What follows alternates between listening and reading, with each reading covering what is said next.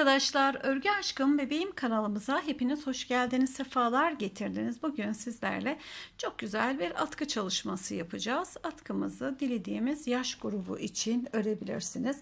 Yapımı oldukça kolay. Ben bir buçuk metre kadar ördüm. Ee, uzunluk tamamen zevkinize göre çok daha uzatabilirsiniz ya da bir buçuk ya da birazcık daha kısa olarak tamamlayabilirsiniz. Kalın ip ve kalın şiş kullandım. Sizler dilediğiniz kalınlıktaki ipleri ve şişleri bu modelimiz için uygulayabilirsiniz. Evet hemen şimdi e, yapımına geçelim ama öncesinde sizlerden küçük bir ricam olacak. Kanalıma abone değilseniz abone olarak beğeni ve yorumlarınızla beni desteklerseniz çok mutlu edersiniz. Evet kolay gelsin diyelim ve hemen bu güzel atkımızın yapımına geçelim. Kolay gelsin.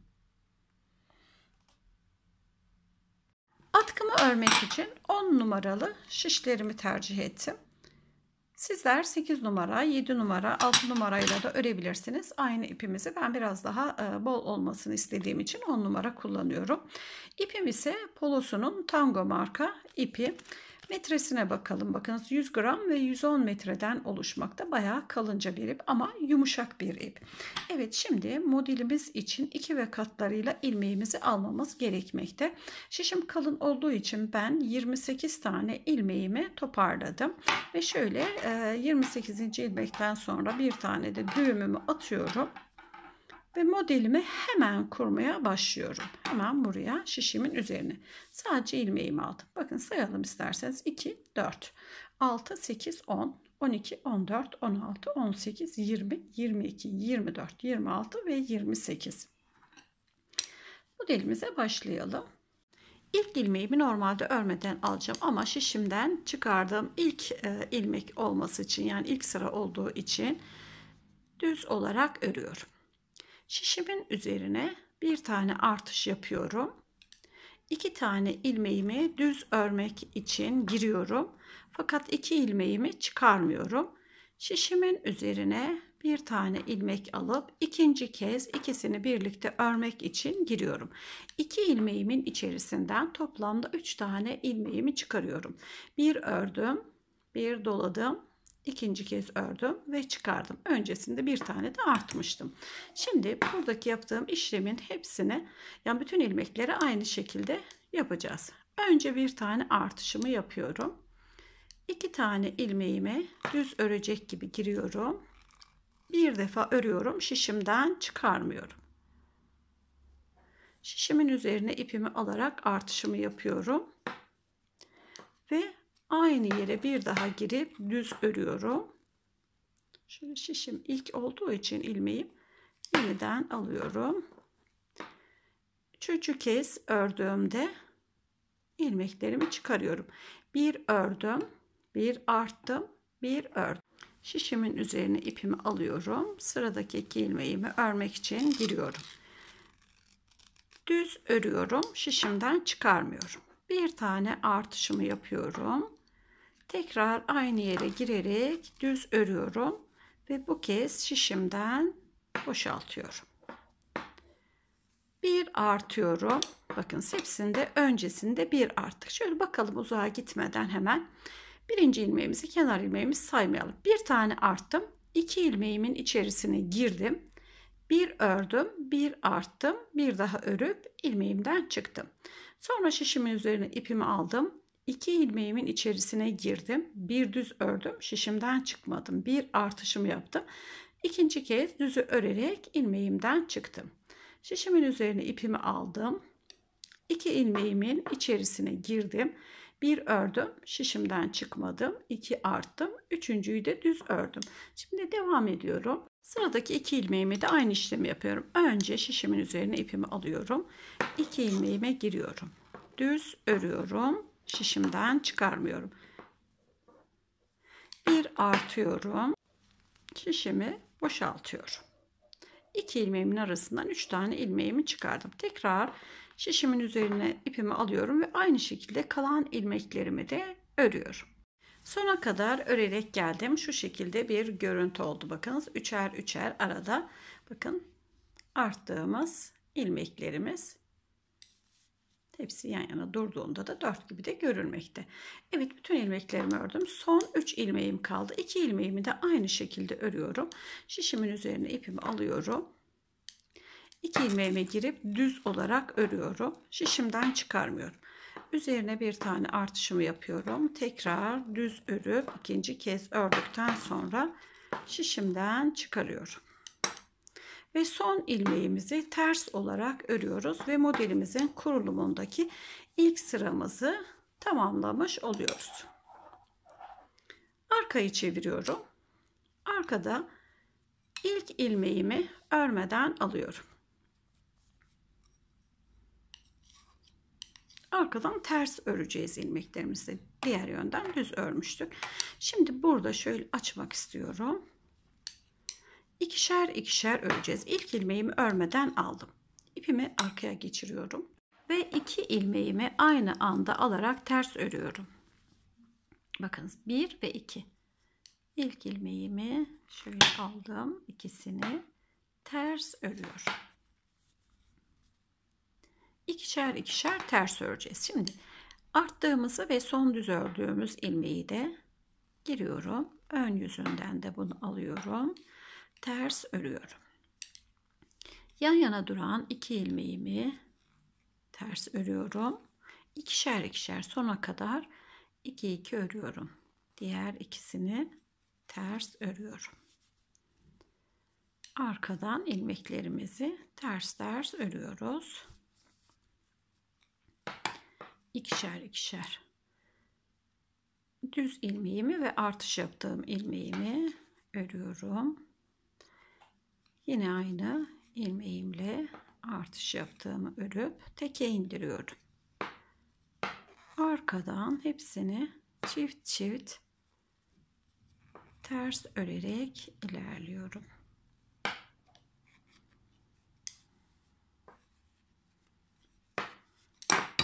Devam edelim. Sona kadar gelelim ipimi yarımlamasına izin vermiyorum. Sona kadar ördüm. 3 tane ilmeğim kaldı. İkisini yine ters olarak örüyorum. İpimi de tabi arkaya alıyorum ters örebilmek için. Ve son ilmeğimde tek bunu da ters örüyorum. Son ilmekleri ben ters örerek bitiriyorum modelimizin arkasından şu şekilde görmekteyiz. Ön yüzünü çeviriyoruz ve bu sıramızda modelimizde kaydırma uygulayacağız. Bakın şöyle görülüyor. Kaydırma içinde ilk ilmeğimi yine örmeden alıyorum. Birinci ilmeğimi düz olarak örüyorum. Kaydıracağımız için bir sonrakinde yani iki grubun bitimiyle başlangıcı üzerinde çalışmamız olacak. Yine bir tane düzümü ördükten sonra şişimin üzerine artış yapıyorum. İki ilmeğimi örmek için giriyorum. Bir tane artışımı yapıyorum. Tekrar iki ilmeğimi düz örüyorum ve şişimden boşaltıyorum. Şişimin üzerine ipimi alıyorum. İki ilmeğimi düz örmek için giriyorum. Şişimden çıkarmıyorum. Şişimin üzerine ipimi alıyorum. Tekrar düz örüyorum. Şişimin üzerine ipimi aldım. İkisini örüyorum. Tekrar şişimin üzerine ipimi aldım. İkisini örüyorum ve bu kez şişimden çıkarıyorum. Aşağıdaki yapmış olduğumuz işlemimin aynısı. Bakınız şimdi uzağa gitmeden hemen kaydırmamızın nasıl olduğunu hatırlatmak istiyorum. İlk ilmeğimi boşaldım. Sıradaki ilmeğimi düz ördüm tek olarak. Sonraki gelen iki sıramın içerisinden örmeden önce bir arttım. 2 ilmeğime girdim. Bir düz ördüm. Bir artış yaptım. İkinci düzümü ördükten sonra şişimden çıktım. Şişimin üzerine ipimi aldım. 2 ilmeğime girdim. Bir düz ördüm. Bir artışımı yaptım. İkinci düz örgümle şişimden çıktım. Tekrar bir arttım. 2 ilmeğime girdim. Bir düz, bir artış, ikinci düzümü örerek çıktım. Son kez yapalım. Şişemin üzerine ipimi aldım. Bir ördüm. Şişimin üzerine ipimi aldım ve ikinci kez düz örerek çıktım. Şişimin üzerine ipimi aldım. İkinci kez örüyorum. Dilerseniz şu şekilde de atabilirsiniz. Fark etmez. Bakın. Kolayınıza geldiği gibi el alışkanlığı hangisini tercih ediyorsanız örmeden ikiye girmeden önce mutlaka bir tane artışımı yapıyorum. Örüyorum.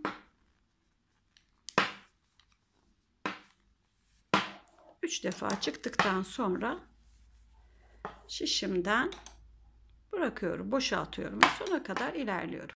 Son iki ilmeğime kadar ördüm. Başta bir tane boşalıp bir tane tek örmüştük. Bakınız bir ilmeğimizi tek olarak örmüştük. Sonda da aynı şekilde e, örüyoruz. Bir tane düz örüyorum. Son ilmeğim olduğu için bunu ters örüyorum. Arkasını çeviriyorum. Arkasını çevirmeden tekrar hatırlatmak istiyorum. Bir boşaldım. Bir düz örmüştüm. Sonra ikişer ikişer içlerinin artışlarını yaparak ördüm. En son iki ilmeğimizin sondan bir öncekini düz ördüm. En son ilmeğimiz kenar ilmeğimiz zaten hep ters olarak öreceğim. Şimdi arkayı çeviriyorum. Arkada bu önde ve arkada tekli ördüğümüz ilmeklerimizi yine tekli olarak örüyoruz. İkili bir şekilde almıyoruz. Burada tersten tersten yine ikişer ikişer öreceğiz. İlk ilmeğimi örmeden alıyorum. İkinci ilmeğimi tek olarak ters örüyorum. Bu kaydırma sıramızda bakınız. Sonrasında bu üçerli üçerli görülen ilmeklerimizin önce ikisini alıyorum. Ters örmek için. Sonra diğer ikisini ters örüyorum. İkişer ikişer ters örerek ilerliyorum.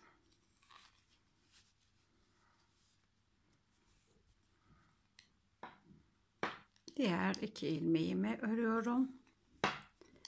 İki ilmeğimi örüyorum ters.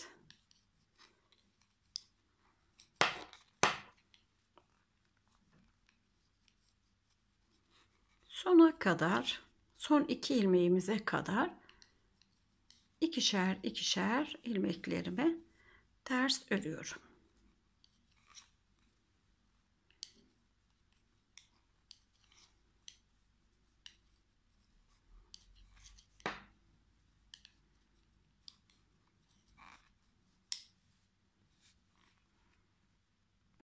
Son iki ilmeğime kadar ikişer ikişer örerek geldim. İki ilmeğimi de yine birer birer ters örüyorum ve modelimizi e, iki sırasını da kurmuş olduk. Birinci sırada kurduğumuz gibi ve ikinci sırada kaydırarak kurduğumuz şekliyle modelimiz bunların tekrarıyla ilerleyecek. Yani bu işlemlerin tekrarıyla e, dilediğimiz ölçü olana kadar örmeye devam edeceğiz. Şimdi e, hatırlatmak için hemen e, ilk sırada kurduğumuz gibi kuruyorum ama tabi videomuzu uzatılma adına başa alarak bakarsanız şimdiki yapacağımız sıra yine üçüncü sıra aynı şekilde beşinci sıra aynı şekilde dördüncü sıra ise ikinci kez kurduğumuz gibi ilk ilmeğimi örmeden alıyorum ikinci ilmeğimden önce bir tane şişimin üzerine alıyorum ikisine giriyorum alıyorum yine şişimin üzerine ipimi alıp ikisini birlikte örüyorum. Şişimin üzerine ipimi aldım. iki ilmeğimi örüyorum. Tekrar şişimin üzerine ipimi alıp ikisini örüyorum. Şişimin üzerine ipimi aldım. Şu alttan alan arkadaşlarımız da alttan alıp yukarıya çıkarabilirler. Hangisi kolayınıza geliyorsa o şekilde ipimizi önemli olan burada artışımızı yapmanız artışımı yapıp iki ilmeğimi alıyorum ve ikisini üçüncü kez ördükten sonra tamamlıyorum. Bir tane boşumuz hemen artıyoruz. 2'nin içerisinden 3'ü çıkarıyoruz şeklinde ilk sırada kurduğumuz gibi modelimizi kuruyoruz. Sonraki sıramızda arkasından bir tane boşalıp ikişer ikişer tersten örüyoruz. Dördüncü kez kurulumunda ise ikinci sırada kurduğumuz gibi modelimizi kuruyoruz. Evet şimdi biraz e, örmeye devam edelim. Yeniden görüşelim sonrasında. Atkımızı örmeye devam ettim ve gördüğünüz gibi ben biraz büyüttüm. Verev verev yükselişine bakalım. Çok güzel durmakta. Kaydırmalı bir çalışma. Kaydırmada da hiçbir sorun yaşayamayacağınıza eminim. Bakınız şuradan anlayabiliriz. Burada bir tane ilmeğimizi boş bıraktıktan sonra bıraktığımız ilmeğimiz yani düz olarak ördüğümüz sonrasında hemen artarak e, iki ilmeğin içerisinden üç tane çıkardığımız ilmeğiz. Bir sonraki sırada ise hemen bir boş aldıktan sonra artırarak ördüğümüz bölümümüzü görmekteyiz. Şöyle kenardan baktığımız zaman zaten örgümüz ilerledikçe hiçbir şekilde kafa karışıklığına fırsat vermeyecek bir çalışma.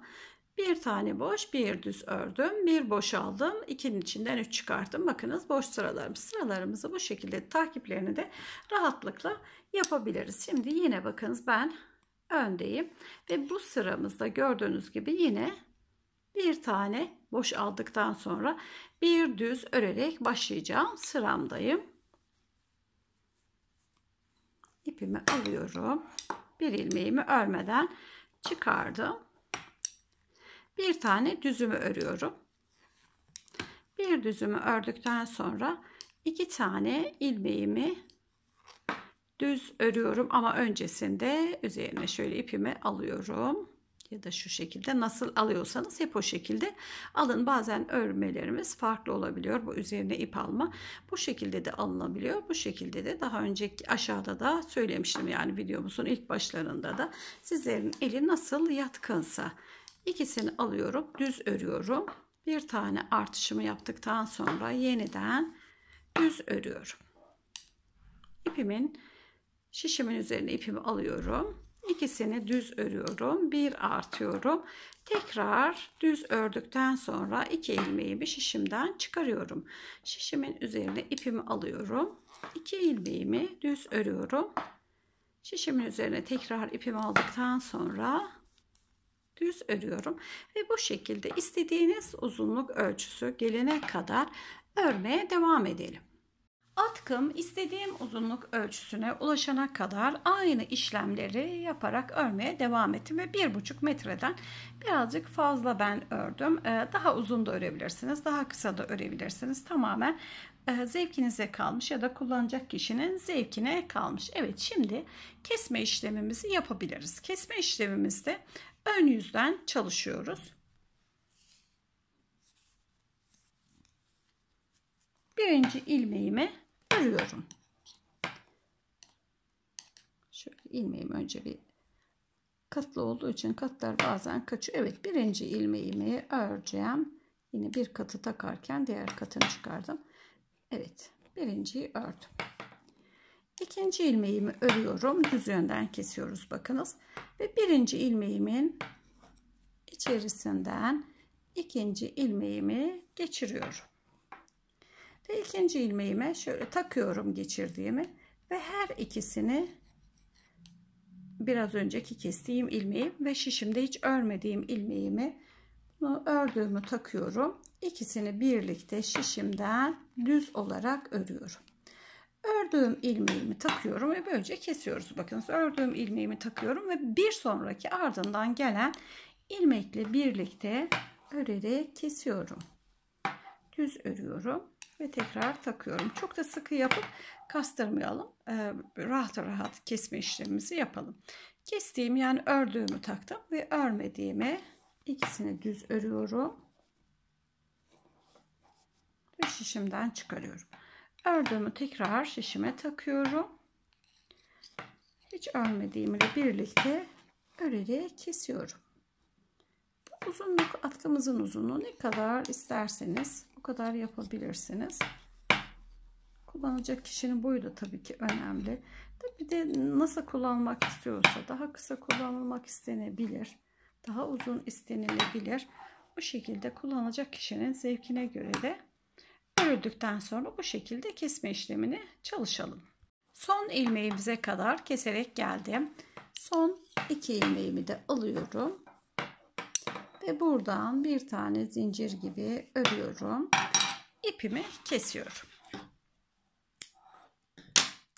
İsterseniz püskül çalışması da yapabilirsiniz. Gayet güzel olacaktır. Dilerseniz bu şekilde ya da farklı işlemler yaparak e, kullanabilirsiniz. Ben bu şekilde kullanmayı tercih ediyorum.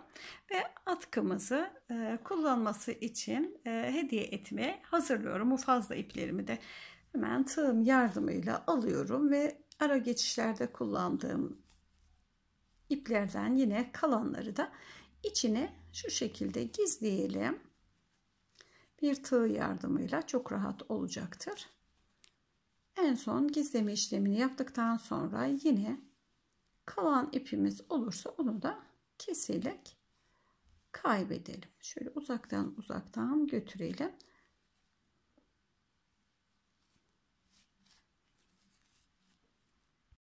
Evet ipimi arkaya gizledim. Temizlik işlemini yaptıktan sonra atkım kullanılmaya hazır hale geldi. Beni izlediğiniz için hepinize çok çok teşekkür ederim. Yeni çalışmalarımızda yeniden görüşmek üzere. Hoşça kalın, mutlu kalın. Görüşmek üzere.